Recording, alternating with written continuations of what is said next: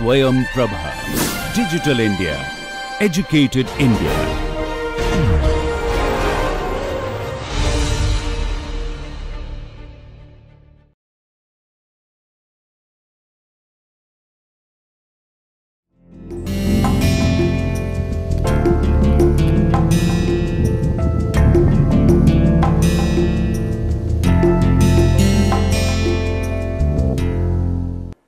नमस्कार मैं श्रेष्ठ यादव एक बार फिर से आप सभी का इस लेक्चर सीरीज़ में स्वागत करता हूँ।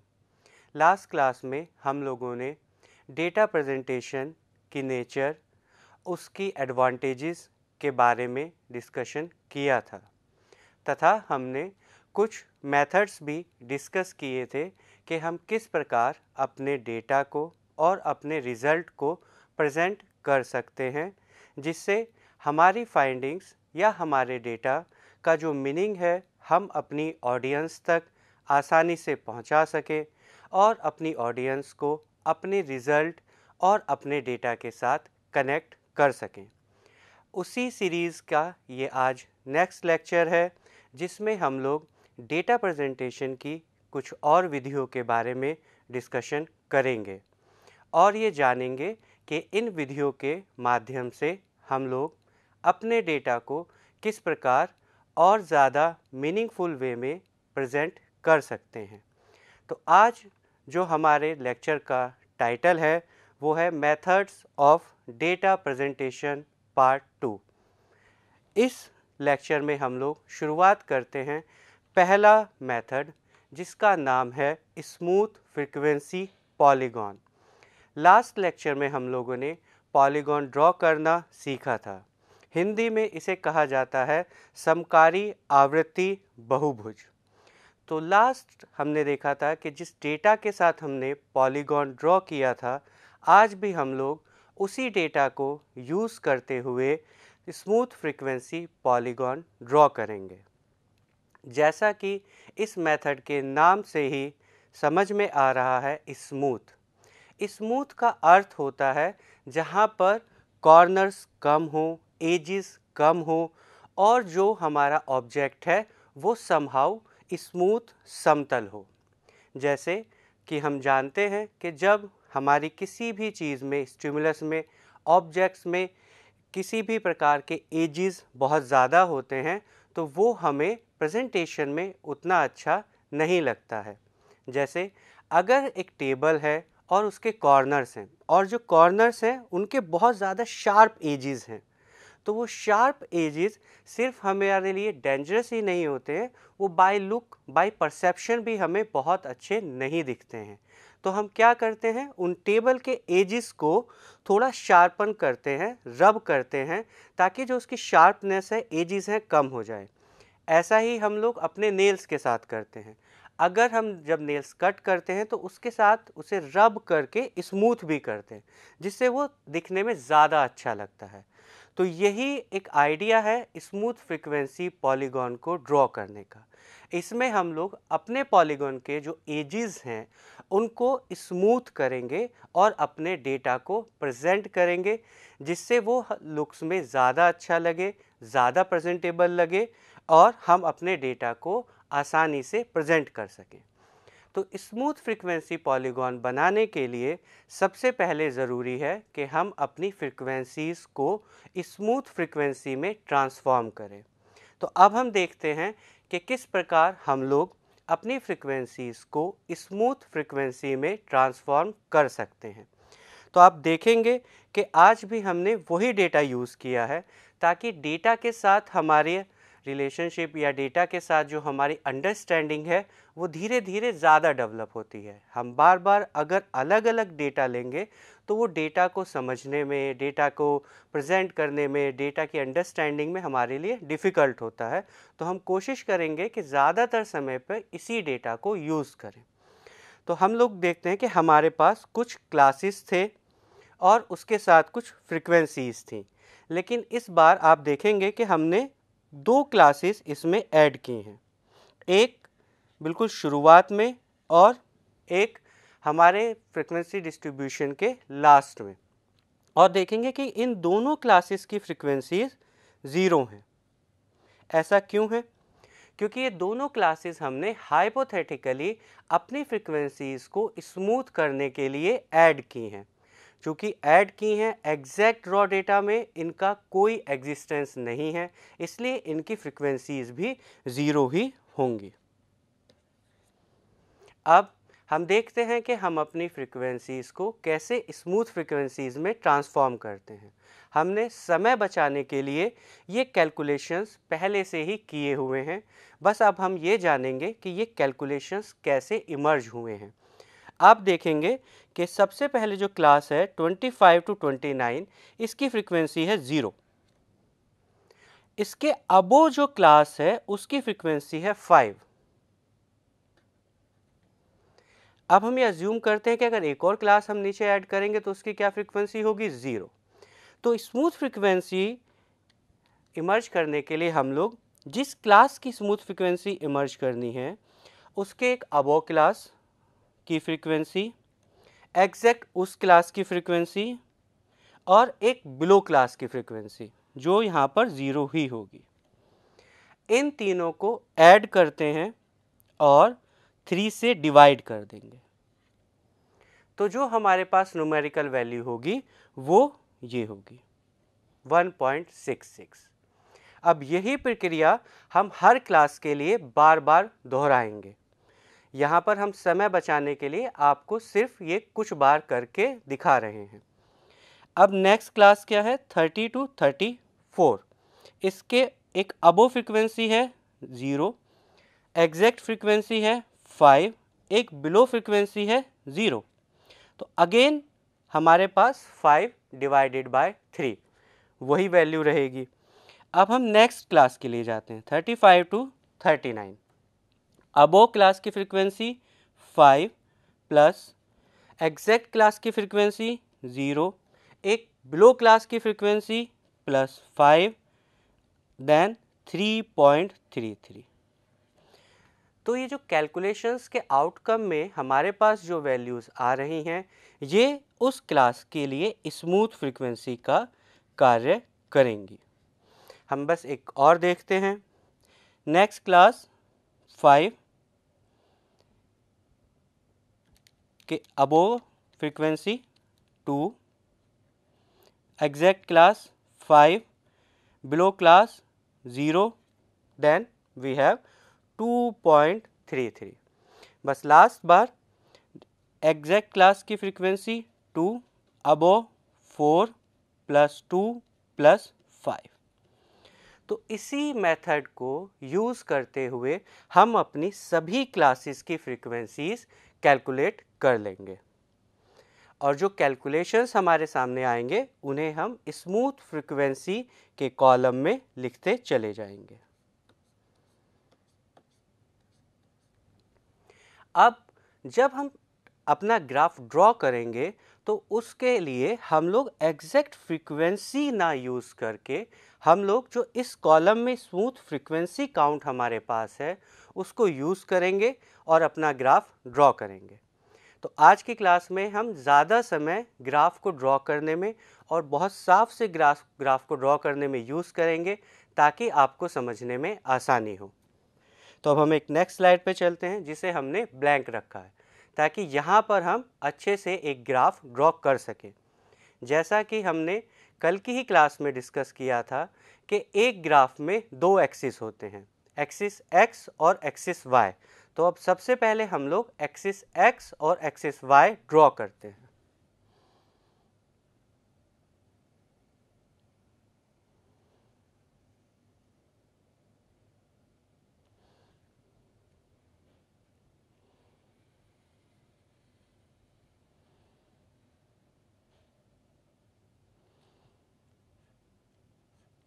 हम लोग आज पूरी कोशिश करेंगे कि हम बहुत क्लीन ग्राफ ड्रॉ करें।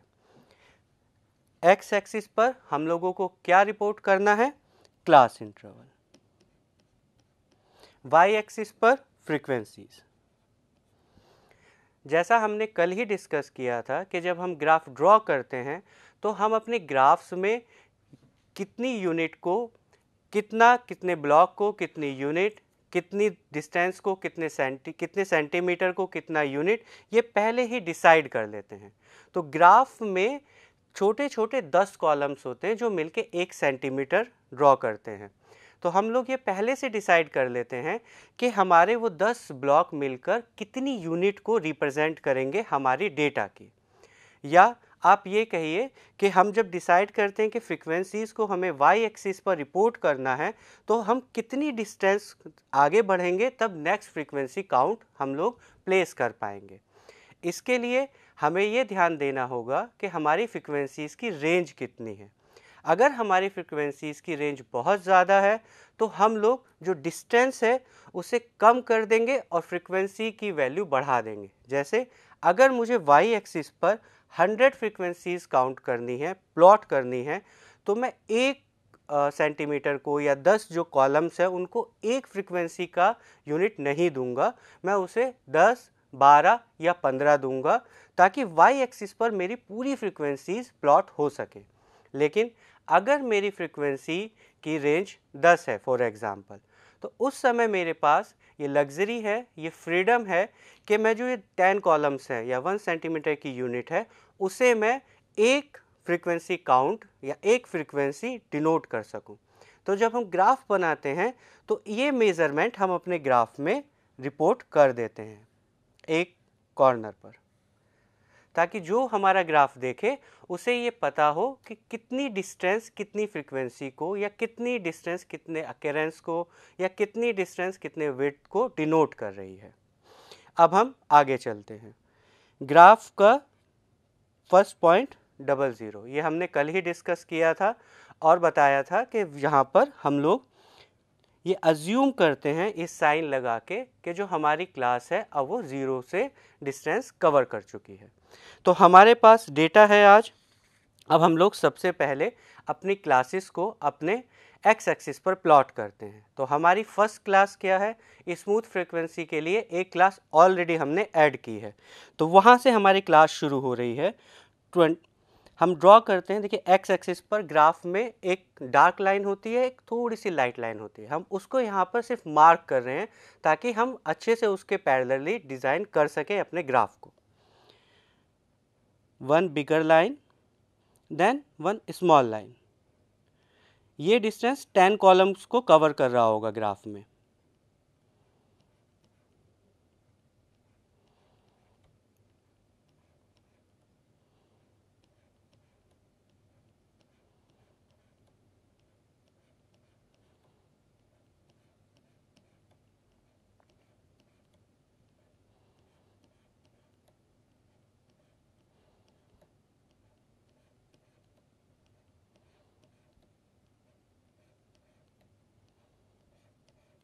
हमारी क्लासेस कहाँ से स्टार्ट हो रही हैं? Twenty five.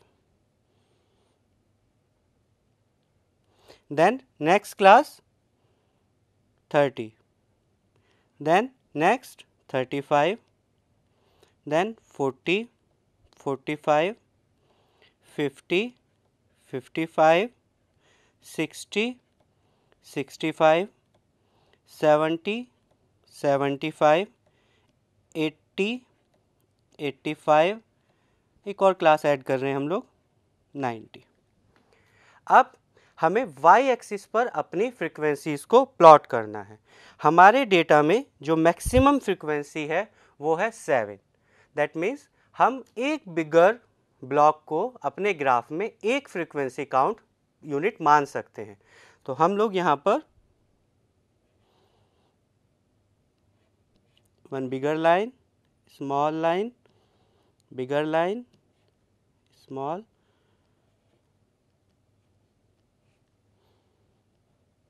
One two three four five.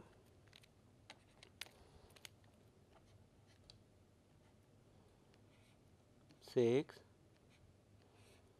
Seven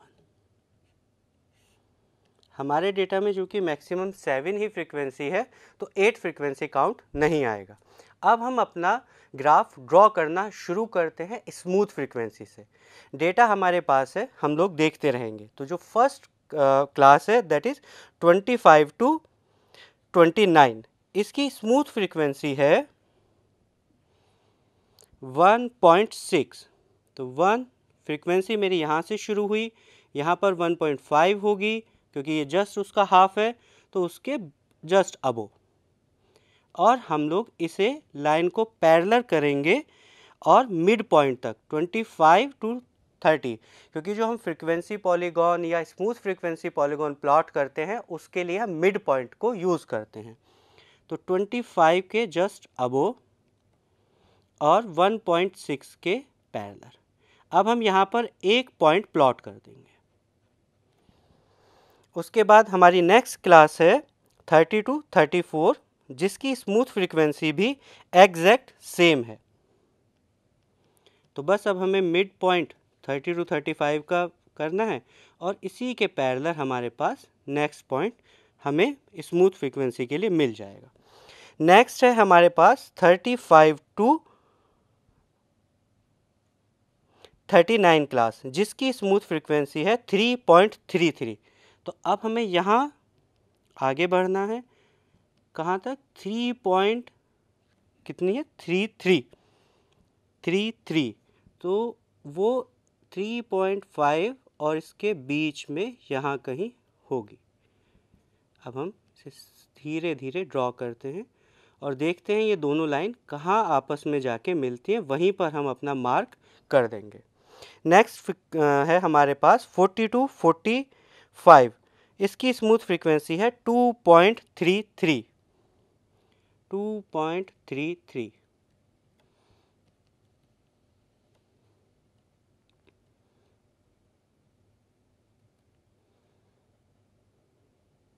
next class है हमारे पास 45 टू 49 जिसकी स्मूथ फ्रीक्वेंसी है 3.66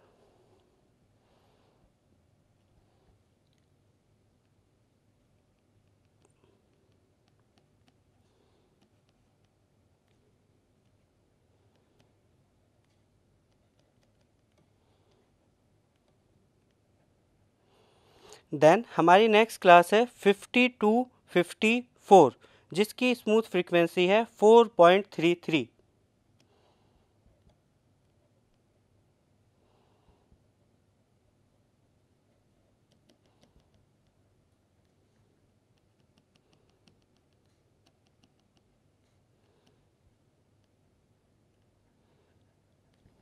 नेक्स्ट क्लास हमारे पास है 55 टू 59 5.33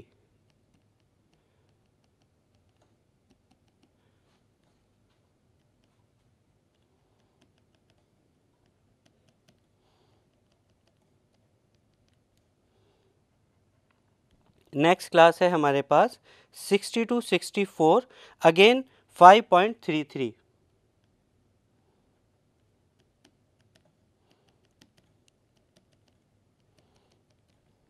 then next class है हमारे पास 65 टू 69 जिसकी यूनिट है 5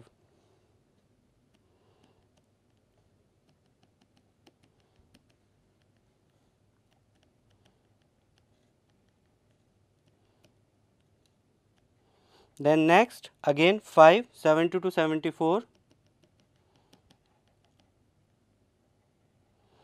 then next class है हमारे पास 75 टू 79 जिसकी फ्रीक्वेंसी है सिक्स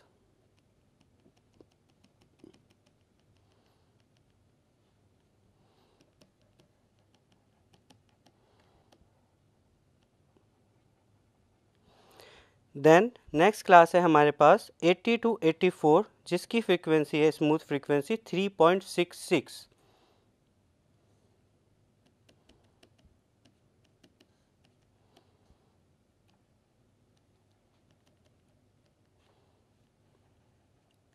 नेक्स्ट क्लास है हमारे पास 85 टू 89 जिसकी फ्रीक्वेंसी है 2.33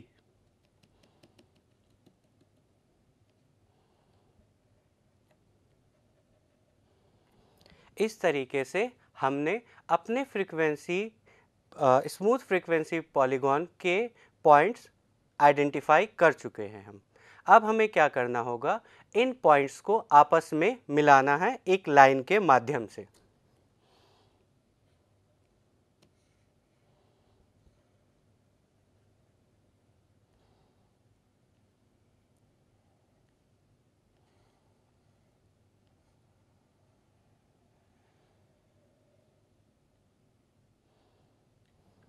और हमारा frequency smooth frequency polygon draw हो गया। अब हम देखेंगे कि ये जो स्मूथ फ्रीक्वेंसी पॉलीगॉन है, इसके जो एजेस हैं, हमारे एग्जैक्ट फ्रीक्वेंसी के एजेस से कुछ स्मूथ हैं। आप देखिए, हमारे पास मैक्सिमम फ्रीक्वेंसी था सेवन लेकिन यहाँ पे वो कम होके कहाँ तक आया? मैक्सिमम सिक्स मिनिमम था हमारे पास टू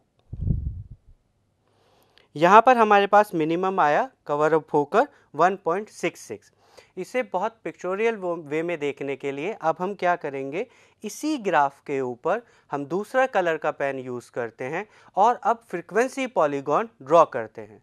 उससे हमें कंपैरेटिवली क्लियर होगा कि स्मूथ फ्रिक्वेंसी पॉलीगॉन और फ्रीक्वेंसी पॉलीगॉन में किस तरीके के डिफरेंसेस शो होते हैं। इस बार हम लोग रेड कलर यूज़ कर रहे हैं। और अब हम लोग जहाँ पर हमने स्मूथ फ्रीक्वेंसी ड्रॉ की थी, अब हम लोग वहाँ पर एग्जैक्ट फ्रीक्वेंसी ड्रॉ करेंगे। तो एग्जैक्ट फ्रीक्वेंसी के लिए 25 टू 29 हमारे पास कोई फ्रीक्वेंसी नहीं होगी क्योंकि यहाँ पर ज़ीरो है। हमने ये क्लास ऐड की थी एक एक्स्ट्रा तो शुरू कहाँ से होगा? 30 टू 34 यहाँ, पहली क्लास का मिड पॉइंट अब इसकी 30 टू 34 की फ्रीक्वेंसी है 5 तो यहाँ पर जब फ्रीक्वेंसी पॉलीगॉन होगा तो मुझे यहाँ पे पहला ड्रॉ करना है। देन सेकंड है मेरे पास 35 टू 39 जिसमें कोई फ्रीक्वेंसी नहीं थी। देन 40 टू 44 अगेन 5 40 टू 44 का mid point frequency count 5 then 45 to 49 frequency count 2 so 45 to 49 frequency count 2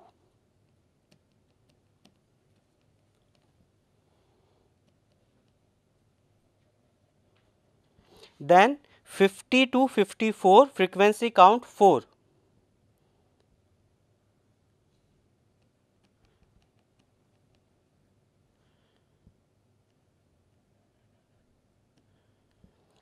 fifty five to fifty nine frequency count seven इसका मिड पॉइंट और frequency count seven fifty five to sixty complete हो गया। अब हमारे पास है sixty to sixty four frequency count five sixty to sixty four frequency count five then 65 to 69 frequency count 4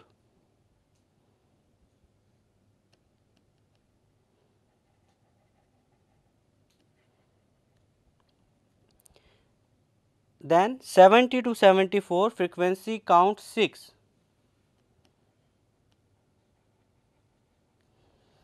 then 70 to 74 the complete. 75 to 79 6 75 to 79 6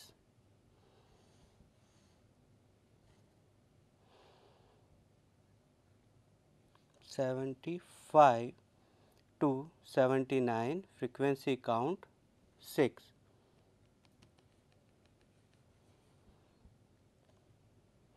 80 to 84 sorry 75 to 79 exact frequency है 5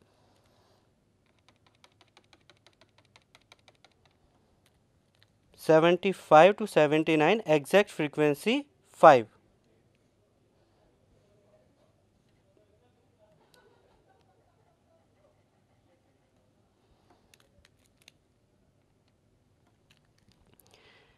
then 80 to 84 exact frequency count 7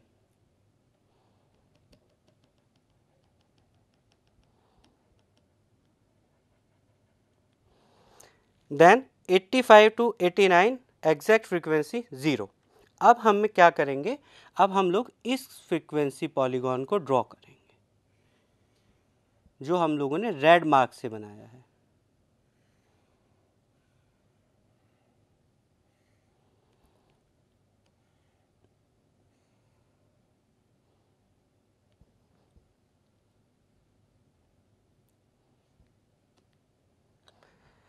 अब आप देखेंगे कि जो मैंने frequency polygon red mark से बनाया है, ये एग्जैक्ट फ्रीक्वेंसी का ग्राफ है।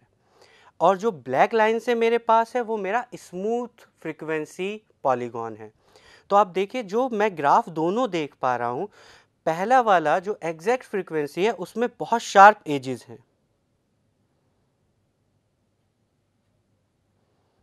लेकिन जो मेरा स्मूथ फ्रीक्वेंसी पॉलीगॉन है, उसके एजेस ये मेरे वही डेटा पैटर्न को शो कर रहे हैं, लेकिन इसके जो एजेस हैं वो स्मूथ हैं। तो यही डिफरेंस होता है एग्जैक्ट फ्रीक्वेंसी पॉलीगॉन और स्मूथ फ्रीक्वेंसी पॉलीगॉन का। ये दोनों ही मेथड हैं जिनके माध्यम से हम लोग अपना डेटा प्रेजेंट करते हैं। फ्रीक्वेंसी पॉलीगॉन के लिए ये हैंग करेगा तो आपको पता है कि हम एक फ्रिक्वे एक क्लास ऐड कर देंगे अपर में और ब्लो में तो ये फ्रीक्वेंसी पॉलीगॉन हमारी बेस को टच करेगा।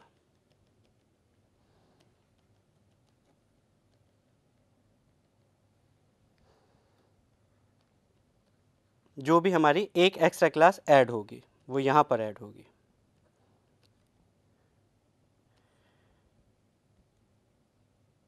एट्टी टू एट्टी फाइव तो यहाँ। नेक्स्ट एक्स्ट्रा क्लास के मिड पॉइंट पर। जो भी ड्रॉ में आए। तो इस प्रकार से हम लोगों ने अब तक स्मूथ फ्रीक्वेंसी पॉलीगॉन और पॉलीगॉन को ड्रॉ करना सीखा। देखिए, जब हमें यहीं पे हिस्टोग्राम ड्रॉ करना होगा तो हम लोग बस उस मिड पॉइंट पर उस फ्रीक्वेंसी को कवर कर देते हैं। तो वो हमारा पूरा हिस्टोग्राम डेवलप हो जाता है। तो ये तीनों ग्राफ का बनाने का मेथड ऑलमोस्ट एक ही जैसा है, जिसमें हम लोग क्लास इंटरवल के मिड पॉइंट पर उस क्लास की एग्जैक्ट फ्रीक्वेंसी को प्रेजेंट करते हैं। पॉलीगॉन में हम लोग लाइन ड्रॉ करते हैं एग्जैक्ट मिड पॉइंट पर और जो हिस्टोग्राम है, उस पूरी क्लास के एरिया को कवर करके एक स्तंभ जैसी आकृति बनाकर हम लोग प्रेजेंट करते हैं। दोनों के माध्यम से हम लोग अपनी फ्रिक्वेंसी का डिस्ट्रीब्यूशन प्रेजेंट कर पाते हैं। अब हम लोग नेक्स्ट क्लास नेक्स्ट मेथड की तरफ़ आगे बढ़ते हैं। नेक्स्ट मेथड है क्यूमुलेटिव फ्रीक्वेंसी कर्व हम लोगों ने जब फ्रीक्वेंसी डिस्ट्रीब्यूशन ड्रॉ करना सीखा था तो उसी के साथ हम लोगों ने फ्रीक्वेंसी और क्यूमुलेटिव फ्रीक्वेंसी काउंट करना लर्न किया था। तो इसीलिए आज की क्लास में हमने एक बार फिर से थोड़ा समय बचाने के लिए हम लोग क्यूमुलेटिव फ्रीक्वेंसीज को ड्रॉ करके लाए हैं। एक बार सिर्फ़ रिवीजन के लिए आपको हम बताते हैं क्यूमुलेटिव फ्रीक्वेंसी किस तरीके से हम लोग काउंट करते हैं। तो जो हमारे पास पहली क्लास होती है, उसकी एग्जैक्ट फ्रीक्वेंसी ही उसकी क्यूमुलेटिव फ्रीक्वेंसी होती है। क्यों? क्योंकि उसमें अभी और कोई इन्फॉर्मेशन ऐड या डेटा ऐड नहीं हुआ है। जो नेक्स्ट क्लास होगी, उसमें हम लोग प्रीवियस क्लास की जो फ्रीक्वेंसी है, उसे ऐड कर देंगे। तो यहाँ पर हमने फाइव में ज़ीरो ऐड किया, हमें फाइव मिला। नेक्स्ट क्लास में हम फाइव में फाइव ऐड करेंगे, हमें टेन मिलेगा। नेक्स्ट क्लास में हम टेन में नेक्स्ट क्लास की फ्रीक्वेंसी ऐड करेंगे, हमें ट्वेल्व मिलेगा। इसी तरीके से हम लोग बिलो की जो फ्रीक्वेंसीज़ हैं, उन्हें एडअप करते चले जाते हैं और अपनी क्यूमुलेटिव फ्रीक्वेंसी काउंट आइडेंटिफाई करते हैं। क्यूमुलेटिव फ्रीक्वेंसी काउंट में जो लास्ट क्लास होगी, उसका क्यूमुलेटिव फ्रीक्वेंसीज सेम उतना होगा जितना हमारे डेटा का एग्जैक्ट एन अगर यहाँ पे 50 है तो इसका अर्थ है कि हमारा डेटा का एन 50 रहा होगा। अदरवाइज़ अगर ये एग्जैक्ट एन से मैच नहीं करता है तो हमने कहीं कोई कैलकुलेशन एरर की होगी। अब हम ड्रॉ करते हैं क्यूमुलेटिव फ्रीक्वेंसी कर्व लेकिन उससे पहले हम लोग ये डिस्कशन करते हैं कि हम क्यूमुलेटिव फ्रीक्वेंसी कर्व क्यों बनाते हैं या हमें क्यों उसे ड्रॉ करके अपने डेटा को प्रेजेंट करना होता है। जैसा हमने डिस्कशन में पहले ही कहा है क्यूमुलेटिव फ्रीक्वेंसीज का अर्थ होता है कि जो हमारे पास एक बार चीज़ है और जो एक्स्ट्रा आई, जो नेक्स्ट फ्रीक्वेंसी ऐड हुई, उसे हमने ऐड कर दिया एडअप हुआ। इन्फॉर्मेशन डेटा एडअप होता चला गया। तो जब हम क्यूमुलेटिव फ्रीक्वेंसी ग्राफ बनाते हैं तो उससे हमें ये जानकारी मिलती है कि कौन सी क्लास इस टोटल एडअप में कितना रोल प्ले कर रही है, कितना मैग्नीट्यूड प्ले कर रहा है। जैसे आप देखेंगे कि 35 टू 39 में जब क्यूमुलेटिव काउंट ऐड हुआ तो वो ज़ीरो था। तो क्यूमुलेटिव काउंट में क्या बढ़ोतरी हुई? कुछ नहीं। जो पिछली क्लास की क्यूमुलेटिव फ्रीक्वेंसी थी, वही क्यूमुलेटिव फ्रीक्वेंसी नेक्स्ट क्लास की हो गई। बस एक एग्ज़ाम्पल के लिए हम यहाँ देखते हैं। यहाँ हम मान लेते हैं थोड़ी देर के लिए कि यहाँ पे भी ज़ीरो फ्रीक्वेंसी काउंट है। अब जब 38 में ये ज़ीरो ऐड होगा तो इस क्लास का भी क्यूमुलेटिव काउंट 38 ही होगा। ये हम इस टेबल में भी देख पा रहे हैं। अब हम लोग इसी जानकारी को ग्राफ में रिप्रेजेंट करते हैं। तो अगेन हम लोग एक नया ग्राफ ड्रॉ करते हैं और उस ग्राफ को ड्रॉ करके क्यूमुलेटिव फ्रीक्वेंसी काउंट को क्यूमुलेटिव फ्रीक्वेंसी ग्राफ के थ्रू रिप्रेजेंट करते हैं। अगेन हम लोग सबसे पहले ग्राफ के लिए एक वाई एक्सिस ड्रॉ करेंगे।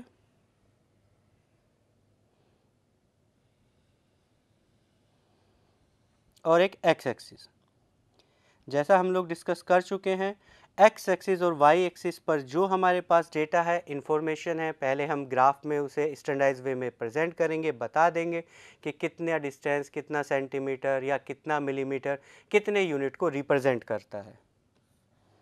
वो हमने यहाँ पे मेंशन कर दिया। उसके बाद हम अपना ग्राफ बनाना शुरू करते हैं। तो अभी दोबारा हमारे पास वही क्लासेस हैं। तो हम दोबारा से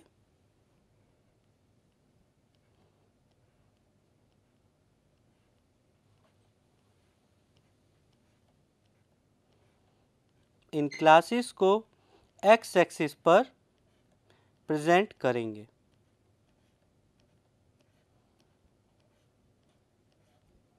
हमारी क्यूमुलेटिव फ्रिक्वेंसी के लिए हमारे पास जो पहली क्लास है, वो है 30 टू 34 क्योंकि इसी क्लास में हमारे पास क्यूमुलेटिव फ्रिक्वेंसी है। जब हम क्यूमुलेटिव फ्रिक्वेंसी ऐड करते हैं या शो करते हैं तो हम लोग डेटा अपना मिड पॉइंट पे प्रेजेंट ना करके उस क्लास की एग्जैक्ट लिमिट पर प्रेजेंट करते हैं एग्जैक्ट अपर लिमिट पर। तो अब हमारे पास जो पहली क्लास है 30 टू 34 इस क्लास के अगर बिलो कोई क्लास होती तो उसकी अपर लिमिट होती, जो इस क्लास की एग्जैक्ट लोअर लिमिट है। थर्टी की लोअर लिमिट होगी twenty nine point five. Next, मेरे पास जो क्लास है, जो इसका अपर एग्जैक्ट लिमिट है thirty four point five. Next जो मेरी क्लास है, उसकी अपर लिमिट है thirty nine point five. Next class की forty four point five forty nine point five fifty four point five fifty nine point five sixty four point five sixty nine point five seventy four point five seventy nine point five eighty four point five eighty nine point five, ये class add है इस data में, इसलिए draw हो। देखिए, हम पीछे की स्लाइड में देखते हैं। ये मेरी क्लासेस हैं क्लासेस की लिमिट्स हैं, और इस क्लास की लोअर एग्जैक्ट लोअर लिमिट होगी थर्टी टू, थर्टी फोर की पॉइंट फाइव माइनस किया जाता है। यह हम लोग पहले डिस्ट्रीब्यूशन में लर्न कर चुके हैं। और जब एग्जैक्ट अपर लिमिट हमें होगी तो हम इसकी अपर लिमिट में पॉइंट फाइव ऐड कर देंगे। यही काम हमने यहाँ पर जो ग्राफ बनाया, उसमें किया है, क्योंकि क्यूमुलेटिव फ्रीक्वेंसी कर्व जब हम ड्रॉ करते हैं तो हम अपने फ्रीक्वेंसी क्यूमुलेटिव फ्रीक्वेंसीज को उस क्लास की एग्जैक्ट अपर लिमिट पे ड्रॉ करते हैं। पॉलीगॉन में मिड पॉइंट पर। क्यूमुलेटिव फ्रीक्वेंसी कर्व में एग्जैक्ट अपर लिमिट पर, क्योंकि ये वो यूनिट है जो ये बता रही है इस क्लास के बिलो मैक्सिमम कितनी फ्रिक्वेंसीज हैं? वो उस क्लास को नहीं रिप्रेजेंट कर रही है उस क्लास के बिलो का भी जो पूरा डेटा है, उसे रिप्रेजेंट कर रही है कि ये वो लाइन है, ये वो पॉइंट है जिसके नीचे इतनी पूरी फ्रिक्वेंसीज आ रही हैं। तो हम लोग उसे अपर लिमिट पर ड्रॉ करते हैं। तो हमारे पास पहली अपर लिमिट है, जो एक हाइपोथेटिकल क्लास है, जिसमें कोई फ्रिक्वेंसी नहीं है तो ज़ीरो सॉरी अभी हमें वाई एक्सिस पर अपनी फ्रिक्वेंसीज को मेंशन करना है। हमारा मैक्सिमम एन था फिफ्टी तो हम लोग यहाँ पर पाँच यूनिट मान रहे हैं कि एक क्ला एक जो ग्राफ का ब्लॉक है, जब वो एक्सट्रीड हो रहा है तो हम उसमें पाँच फ्रीक्वेंसी काउंट अपने एडअप कर रहे हैं। तो वन स्मॉल थोड़ा डिस्टेंस कम करते हैं। Big small big small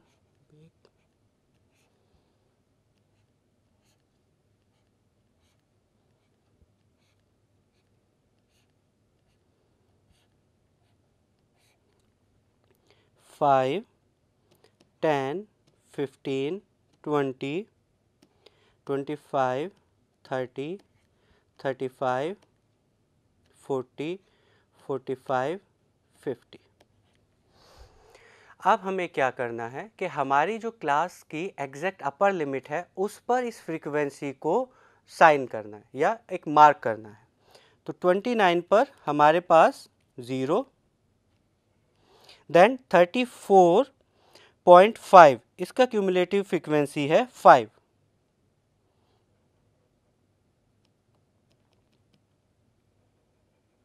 next मेरी क्लास है 39.5 जिसकी भी क्यूमुलेटिव फ्रीक्वेंसी है 5 क्योंकि इसकी एग्जैक्ट कोई फ्रीक्वेंसी नहीं है ज़ीरो फ्रीक्वेंसी काउंट था. उसके बाद मेरी नेक्स्ट अपर लिमिट है 44.5 जहाँ पर मेरी क्यूमुलेटिव फ्रीक्वेंसी है 10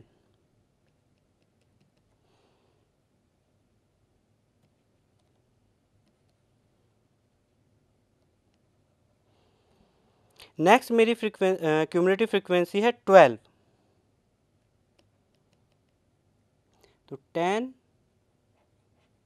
ये ट्वेल्व पॉइंट फाइव होगा, इसके जस्ट थोड़ा सा नीचे.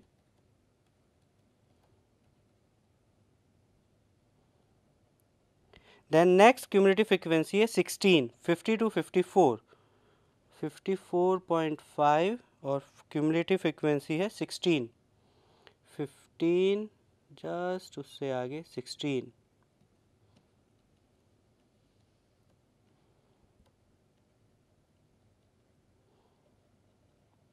देन नेक्स्ट मेरी अपर लिमिट है फिफ्टी नाइन पॉइंट फाइव और उसकी क्यूमुलेटिव है twenty three twenty twenty two point five इसके जस्ट थोड़ा सा ऊपर।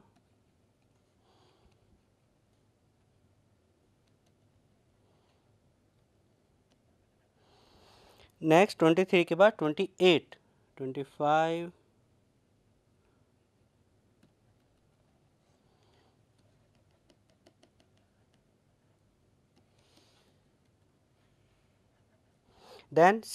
point five जिसकी फ्रीक्वेंसी है थर्टी टू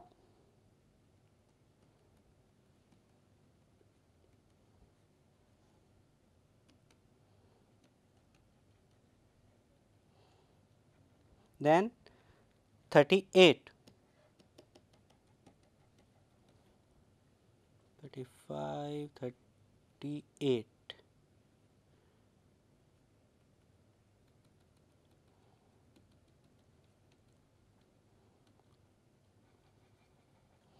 देन 43 42.5 उसके जस्ट अब।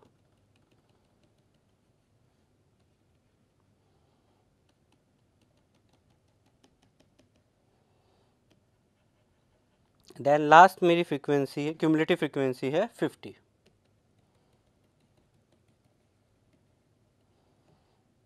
84.5 ये जो डॉटेड लाइन है, ये मैंने सिर्फ़ ये आइडेंटिफाई करने के लिए ड्रॉ की हैं कि वो कहाँ पे पॉइंट आएगा। जब आप ग्राफ पेपर पे इसे बनाएँगे तो लाइन आपको बनाने की ज़रूरत नहीं होगी, उसमें ऑलरेडी लाइंस खिंची हुई होंगी। तो आप बस उस लाइन को फॉलो करते हुए उस पॉइंट को आइडेंटिफाई कर सकते हैं।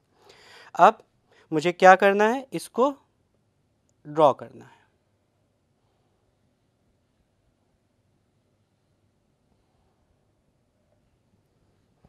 तो मैंने देखा, अगर मैं ये लाइंस हटा दूँ,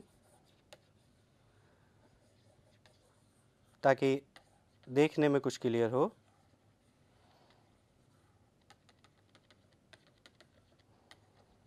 तो आप देखेंगे कि ये ग्राफ सिर्फ़ ऊपर की तरफ़ बढ़ता जा रहा है।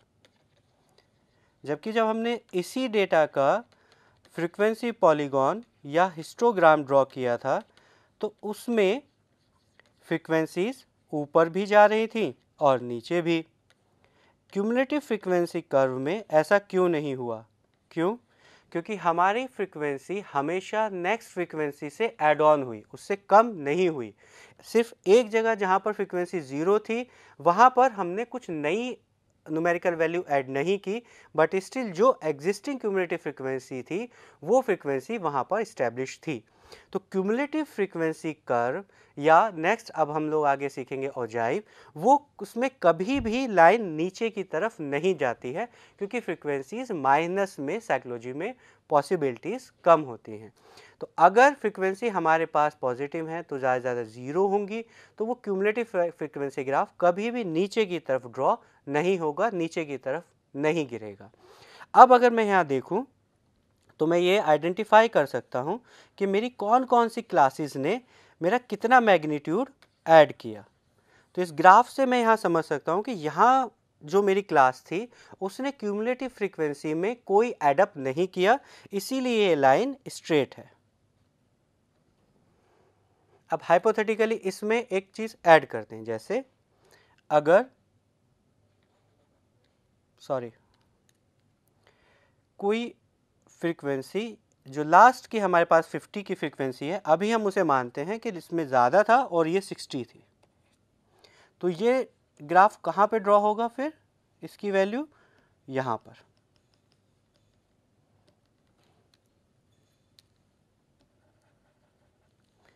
अब मैं ये लाइंस अगर ड्रॉ करूँगा तो ये मुझे देखने से पता चल जाएगा कि लास्ट वाली जो क्लास है उसने मेरी क्यूमुलेटिव फ्रिक्वेंसी काउंट में एक बहुत ज़्यादा डिस्टेंस कवर किया है। क्योंकि वो लास्ट 43 से डायरेक्ट 60 हुई है। तो इस तरीके से हम क्यूमलेटिव फ्रीक्वेंसी ग्राफ से अपने डेटा को प्रेजेंट कर सकते हैं। अब नेक्स्ट हमारे पास ग्राफिकल मेथड है, जिसे हम कहते हैं क्यूमुलेटिव परसेंटेज कर्व या ओजाइव संचय प्रतिशत वर्क या ओजाइव इसमें हम लोगों को सिर्फ़ एक इंफॉर्मेशन और कैलकुलेट करनी है, वो है परसेंटेज किसका? क्यूमुलेटिव फ्रीक्वेंसी का. तो अब हम लोगों ने एक और नया कॉलम ऐड किया इस टेबल में, जहाँ पर हम लोगों ने प्रेजेंट की है इस फ्रीक्वेंसी की परसेंटेज इस पूरे डेटा सेट में. तो इसे कैलकुलेट करने का फॉर्मूला है cumulative frequency divided by N into hundred इसी फॉर्मूला को यूज़ करते हुए हम लोगों ने ये इंफॉर्मेशन ऑप्टेन की है। आप इस फॉर्मूले से जब भी करेंगे तो इस तरीके से आपके पास क्यूमुलेटिव फ्रीक्वेंसीज काउंट आ जाएगा। समय बचाने के लिए हम एक बार फिर इसी डेटा को यूज़ करते हुए अब क्यूमुलेटिव फ्रीक्वेंसी की बजाय क्यूमुलेटिव परसेंटेज कर्व या ओजाइव ड्रॉ करते हैं।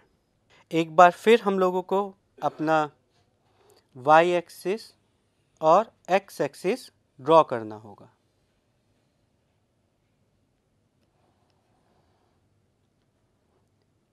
ग्राफ के बाकी डिस्कशन हम नहीं कर रहे हैं क्योंकि हम लोगों ने कई बार किए हैं तो अब हम लोग थोड़ा जल्दी से ओजाइव ड्रॉ करते हैं। ऑजाइव ड्रॉ करने के समय पर हमारे पास वाई एक्सिस पर अब ना ही फ्रीक्वेंसी है, ना ही क्यूमुलेटिव फ्रीक्वेंसी है। अब हमारे पास क्या है? परसेंटेज परसेंटेज मैक्सिमम कितनी हो सकती है? हंड्रेड तो अब हम लोगों को जो हमारा वाई एक्सिस है, उस पर अपने डेटा का डिस्पर्जन थोड़ा सा कम करना होगा। पिछली बार मेरे पास मैक्सिमम क्यूमरेटिव फ्रीक्वेंसी 50 थी तो मैंने 5 का ड्रॉ किया था। इस बार मैं उसे जस्ट डबल कर रहा हूँ, क्योंकि 50 से अब मुझे 100 अपने डेटा पॉइंट्स वाई एक्सिस पर रिप्रेजेंट करने हैं। तो वापस एक्स एक्सिस पर हमारे पास वही होगा, लेकिन डेटा अब हमारे पास है, अब हम लोग इसे क्यूमुलेटिव परसेंटेज ओजाई में कन्वर्ट कर कन्वर्ट करते हैं। क्लासेस सेम रहेंगी। 29.5 अब मैं अपर लिमिट ही ड्रॉ कर रहा हूँ थोड़ा जल्दी। 34.5 39.5 देन अपर लिमिट है मेरे पास 39 के बाद 44.5 49.5 then 54.5 then 59.5 then 64.5 then 69.5 then 74.5 then 79.5 then 84.5 Y axis पर अब मेरे पास क्यूमुलेटिव फ्रिक्वेंसीज नहीं परसेंटेज हैं तो मैं यहाँ पर ten percent twenty, thirty, forty, fifty, sixty, seventy, eighty ninety and hundred. इस तरीके से मैंने ड्रॉ किया। अब मैं वापस शुरू करता हूँ। ट्वेंटी नाइन पे परसेंटेज ज़ीरो होगी, कोई क्यूमुलेटिव फ्रिक्वेंसी नहीं। थर्टी फोर पॉइंट फाइव पर टेन परसेंट। तो मेरा पहला पॉइंट इमर्ज होगा यहाँ, लगभग यहाँ। Again thirty nine point five पर again percentage ten that means here then next मेरे पास परसेंटेज है twenty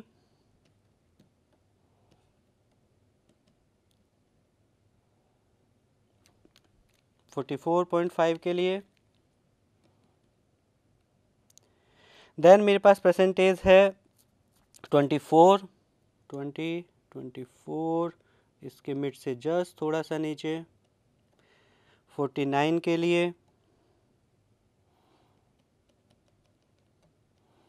देन फिफ्टी फोर के लिए मेरे पास क्यूमुलेटिव है thirty two thirty two thirty two percent fifty four then forty 46 46 again.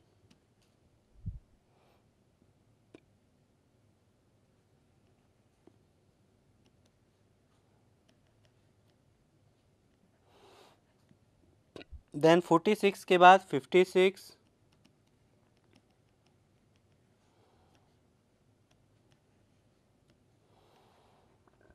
Then 56 के बाद 64 64 मिड से थोड़ा सा नीचे होगा इन दोनों के।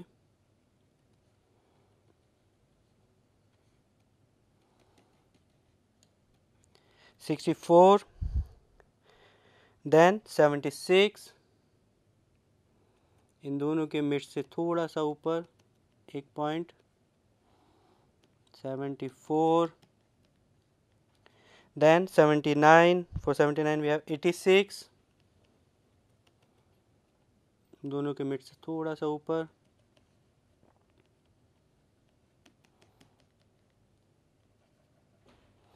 Then 84 we have 100 percent.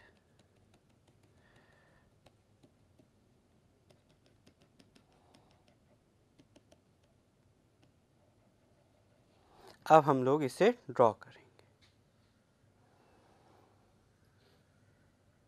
अगर आपको पिछला ग्राफ याद है, हम देख लेते हैं। तो देखेंगे इन दोनों के ग्राफ का लुक प्रेजेंटेशन ऑलमोस्ट एक ही जैसा है। क्यों? क्योंकि पहले वाले ग्राफ में क्यूमुलेटिव फ्रिक्वेंसी में हम लोगों ने एग्जैक्ट फ्रिक्वेंसी यूज़ की थी और ओजाई में हम लोगों ने उन्हीं फ्रिक्वेंसीज़ का परसेंटेज रिप्रेजेंट किया है।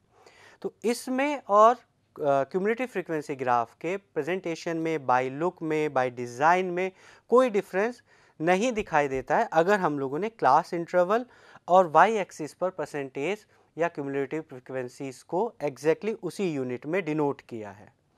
अब हम लोग नेक्स्ट जो डिस्कशन करेंगे, वो डिस्कशन करेंगे नेक्स्ट ग्राफ के लिए। तो नेक्स्ट ग्राफ है हमारा स्कैटर प्लॉट अब प्रश्न ये उठता है कि हम स्कैटर प्लॉट किसे कहते हैं? स्कैटर प्लॉट हम किन कंडीशंस में ड्रॉ करते हैं? और स्कैटर प्लॉट से हमें किस तरह की इन्फॉर्मेशन मिलती है? तो जो स्कैटर प्लॉट होता है, ये हम तब ड्रॉ करते हैं जब हमारे पास एक साथ दो या दो से ज़्यादा वेरिएबल हों। हम अभी आसानी के लिए इजी के लिए पहली शुरुआत में हम लोग ड्रॉ करते हैं। जब हमारे पास दो वेरिएबल्स हों तो उन वेरिएबल्स का अगर हमें डेटा प्रेजेंट करना है तो हम लोग स्कैटर प्लॉट का यूज़ करते हैं। स्कैटर प्लॉट हमें क्या बताता है? स्कैटर प्लॉट हमें दोनों वेरिएबल के बीच में किस तरह की रिलेशनशिप है, ये हमें प्रेजेंट करता है। हमें इसका आइडिया इसकी इंफॉर्मेशन कन्वे करता है। अब हम लोग इस स्कैटर प्लॉट को एक एग्ज़ाम्पल के माध्यम से समझने का प्रयास करते हैं। तो जैसा कि अभी हमने कहा कि स्कैटर प्लॉट के लिए हमें दो वेरिएबल्स की आवश्यकता होती है। तो अब हम लोग एक उदाहरण बनाते हैं जिसमें हम एक साथ दो वेरिएबल्स को लेंगे। हम लोग एक एग्ज़ाम्पल लिए कि हमारे पास डे हैं। फॉर एग्ज़ाम्पल हम लोग यहाँ पर ये जानने का प्रयास करते हैं कि जब मैंने रेस्टोरेंट खोला तो फ़र्स्ट डे में उसकी सेल्स की क्या फ्रीक्वेंसी थी, सेकंड डे में उसकी सेल्स की क्या फ्रीक्वेंसी थी, थर्ड डे में मेरी कितनी सेल्स हुई, फोर्थ डे में कितनी सेल्स हुई और इस प्रकार से जब मैंने 10 दिन तक लगातार अपना रेस्टोरेंट ओपन किया तो मेरी फ्रिक्वेंसी जो सेल्स की थी क्या वो बढ़ी? या दिन बढ़ने के साथ साथ मेरी सेल्स की फ्रिक्वेंसी कम हो गई, या इन दोनों के बीच में किसी और तरह का रिलेशनशिप इमर्ज हुआ। तो इसके लिए हमने लोगों ने एक उदाहरण के लिए एक डेटा प्रिपेयर किया है हाइपोथेटिकली जिसमें हम लोगों ने फ़र्स्ट कॉलम में लिखे हैं days first day second day third day fourth fifth six seventh eight nine tenth हम लोग अभी सिर्फ़ दस दिन का डेटा ही प्रेजेंट करते हैं। उसके बाद हम लोगों ने हाइपोथेटिकल यहाँ पर सेल्स लिखी हैं कि फ़र्स्ट डे में फाइव सेल्स सेकेंड डे में टेन थर्ड में टेन फोर्थ में फिफ्टीन फिफ्थ में twenty then twenty five thirty twenty fifteen ten ये डेटा हाइपोथेटिकल है, सिर्फ़ हम लोगों ने प्रेजेंटेशंस के लिए इस डेटा को यूज़ करने के लिए डेवलप किया है। अब हम लोग ड्रॉ करते हैं स्कैटर प्लॉट इसके लिए वापस हम लोगों को ग्राफ बनाना होगा। डेटा मेरे पास है, मैं इसी डेटा को यूज़ करते हुए स्कैटर प्लॉट ड्रॉ करता हूँ। आप लोगों को अगर इस समय ये डेटा नहीं दिख रहा हो तो जब हम लोग लास्ट स्लाइड शो करते हैं, उस समय आप उस डेटा को लिख सकते हैं, ताकि जब मैं ये ग्राफ बनाऊँ तो आप भी उससे कनेक्ट हो सके। मैंने ड्रॉ करने के लिए डेटा अपने पास लिख के रखा हुआ है। Y axis X axis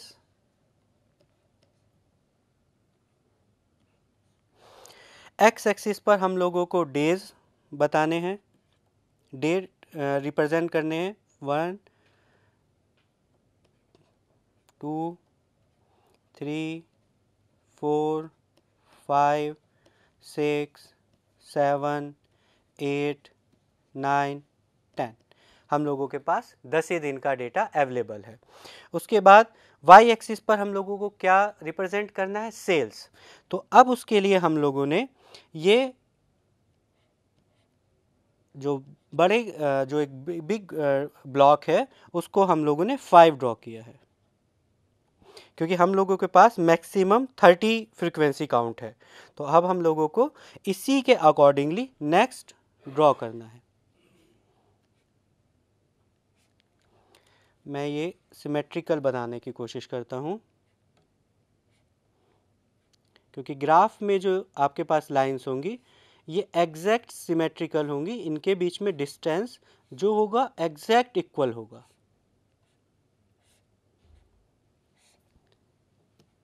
Ten, fifteen, twenty twenty five, thirty thirty five. हमारे पास मैक्सिमम थर्टी की फ्रीक्वेंसी है, इससे ऊपर डेटा हमारा नहीं जाएगा। अब हम लोगों को क्या करना है कि फ़र्स्ट डे पे हमारा कितना सेल हुआ? फाइव। सेकेंड डे पे हमारी कितनी सेल हुई? टेन।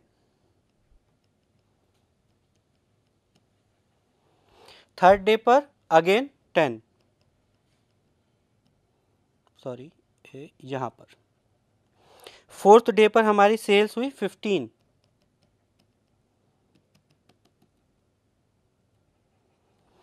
फिफ्थ डे पर हमारी सेल्स थी ट्वेंटी।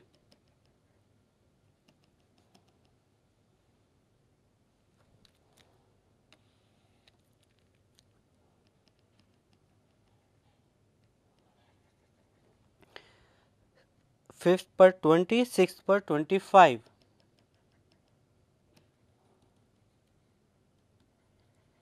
सेवेंथ पर थर्टी।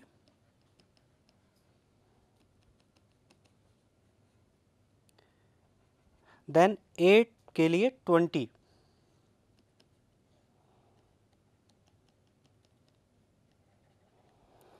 Then ninth fifteen.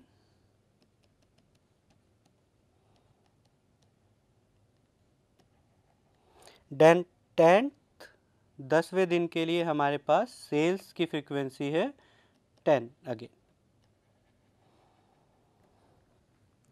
अब हम लोग, अगर ये जो हमने सिर्फ़ अपने कन्वीनियंस के लिए लाइंस ड्रॉ किए थे, अगर मैं इन्हें रब कर दूँ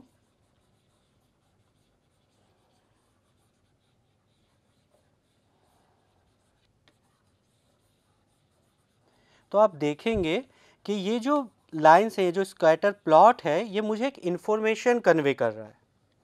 क्या? कि अगर मैं देखता हूँ कि शुरू में जैसे जैसे नेक्स्ट डे आया था, मेरी सेल्स की जो फ्रिक्वेंसी है, ये बढ़ी। उसके बाद, एक पर्टिकुलर डे सेवेंथ के बाद, इस फ्रिक्वेंसी में धीरे धीरे गिरावट आने लगी।